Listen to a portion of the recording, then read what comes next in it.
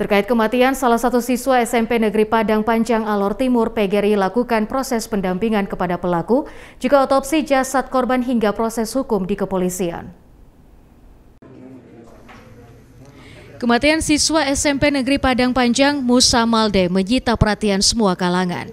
Pemberitaan di berbagai media mendapat beragam tanggapan dari masyarakat yang mengutuk pelaku penganiayaan korban. Terkait kasus ini, Persatuan Guru Republik Indonesia Cabang Alor angkat bicara saat melakukan pendampingan bersama LKBH Kupang.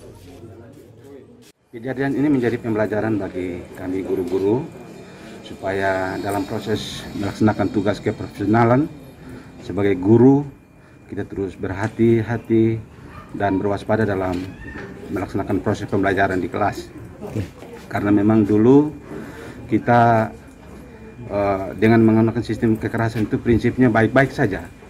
Karena di ujung rotang ada emas. Tapi sekarang prinsip itu sudah tidak relevan lagi tidak berlaku lagi.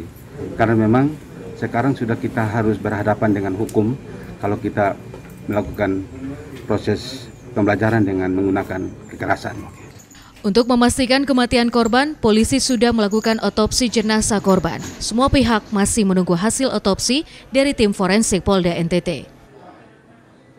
Saya sangat berterima kasih sekali kepada pihak daripada keluarga korban, sangat mendukung apa yang sudah kami lakukan ini untuk pelaksanaan otopsi dan kami juga sangat berterima kasih juga kepada keluarga dari terduga pelaku.